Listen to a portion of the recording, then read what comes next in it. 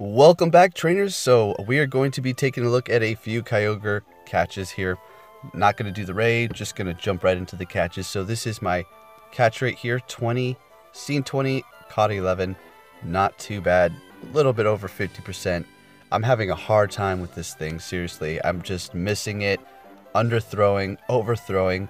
I can't hit the circle. See, look at that. Uh, I mean, uh, half the time I am in a car and I am um, a passenger and I'm trying to catch it as the car is moving because we're trying to go from raid to raid.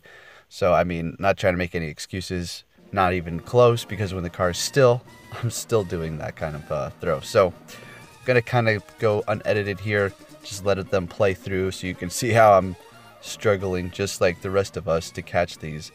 Uh, it is, in fact, a very good Pokemon. You do want this.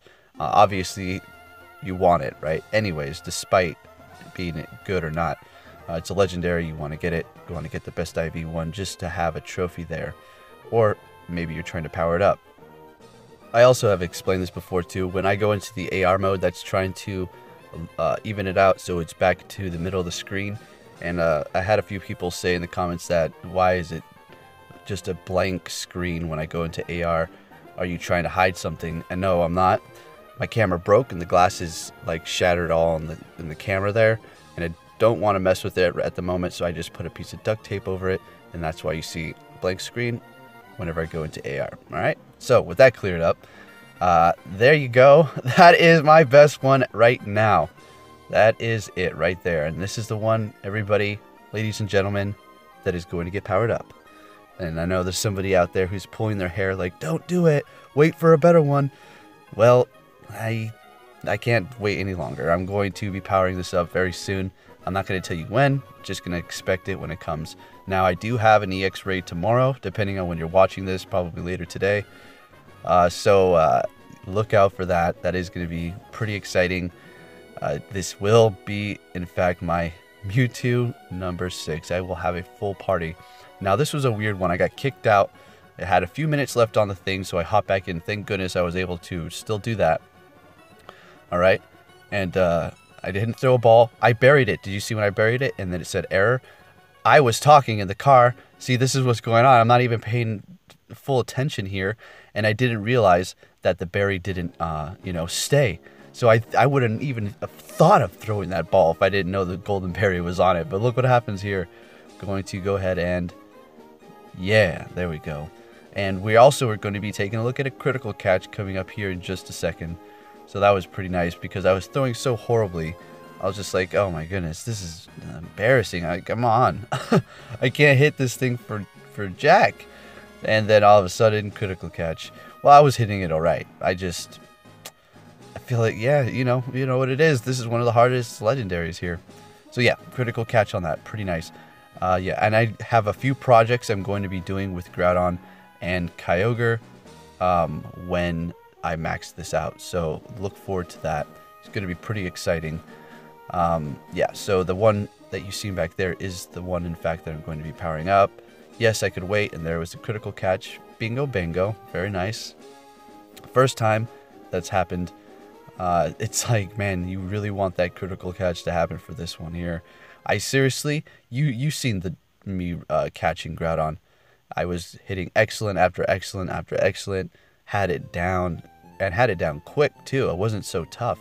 But with this one, it's just that position where it is on the screen, the circle, how far back. It's just like, man, every little variable is just annoying. Not so annoying, it's I, I could say challenging, right? Alrighty, so with that said, keep an eye out for some exciting videos tomorrow, everybody. And sorry I haven't been doing so much commentary. It's just I've been on my grind and doing commentary videos and grinding hard. And, uh, I also have, um, you know, other things behind the scene, you know, family things and errands and, you know, life things that uh, catch up to me. And you see how much videos I pump out two to three videos, even four videos a day sometimes, guys. This is, it's not like easy, you know what I mean? And I know a lot of you know this, but some people out there actually are thinking in their brains that this is not hard.